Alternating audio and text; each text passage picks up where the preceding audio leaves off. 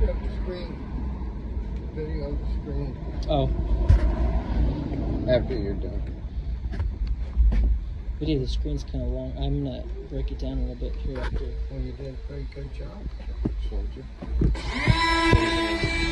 Yeah, I didn't really have to scream there, did? Just because I got such a big bit, it won't get in the corner anyway.